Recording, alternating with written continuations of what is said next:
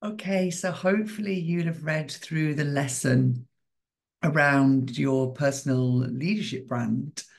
And as part of this exercise, we're going to use the model of by Simon Sinek. So he created the Start with Why model, also wrote a book of the same name. And embedded into this lesson, there's also the original video that he produced. It's slightly dated now. He does talk about kind of VCRs and Apple, um, but I still think it's incredibly relevant. Um, and the message that he talks about his start with why um, can be a really, really important consideration when we're thinking about our personal brand or our leadership brand.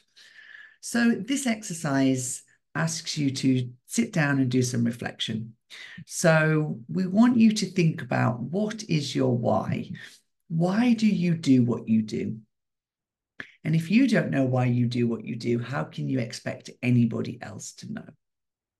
Now, the key to this is to start with why. It can sometimes be the most difficult question when we're thinking about this whole exercise, but sit with it. Just enjoy the almost uncomfortableness of really thinking about why is it that you do what you do.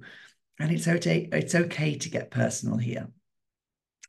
In order to bring your why to life, you must then think about the ways that you are aligned with your values and your guiding principles and your strengths. That's your how. So think about how you're going to do this, how you're going to bring your why to life. And then finally, everything that you say and do must be consistent with what you believe.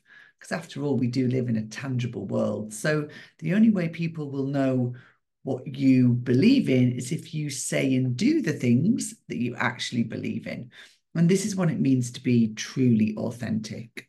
So really think about what are you going to do so that you can demonstrate what are the behaviors that you can demonstrate your why and your personal and your leadership brand.